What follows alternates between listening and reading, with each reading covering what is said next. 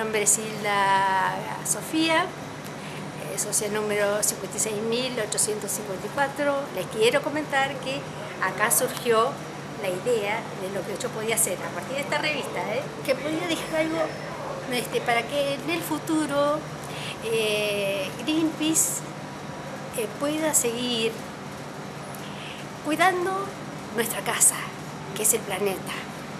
Y quiero invitarlos también a ustedes para que se lean esta revista que les acabo de mostrar y eh, puedan llegar a hacer lo mismo que yo ya he decidido hacer cuando yo decido dejar mi testamento.